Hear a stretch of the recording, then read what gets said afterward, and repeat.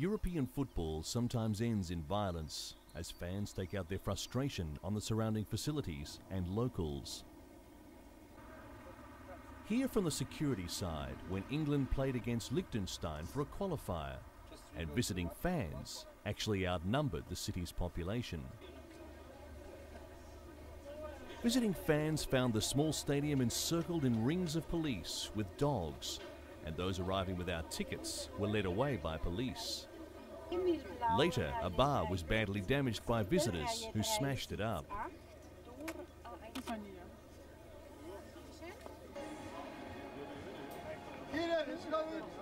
More than a thousand police and security officers from Liechtenstein, Switzerland, and Austria were on duty in an attempt to control the invasion from foreign fans.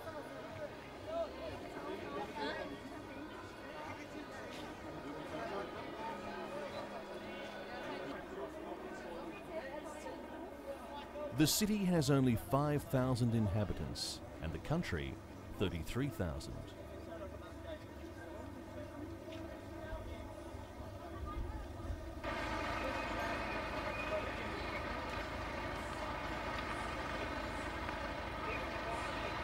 The Rheinpark Stadium has a capacity of only 3,548 and is the smallest sanctioned for the Euro competition.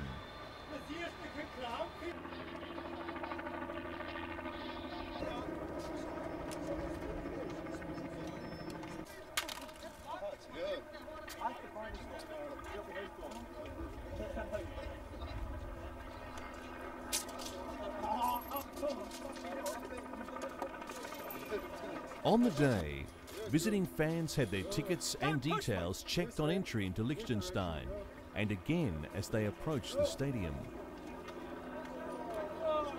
Security officials ensured that only fans with valid tickets were able to gain access to the ground.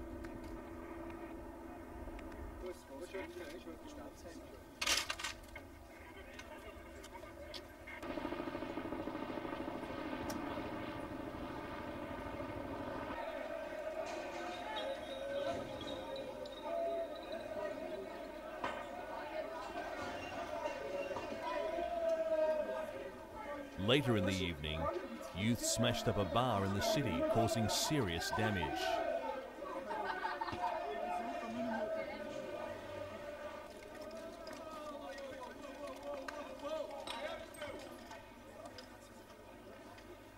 Police were called, and they arrested a number of fans at the scene of the devastation.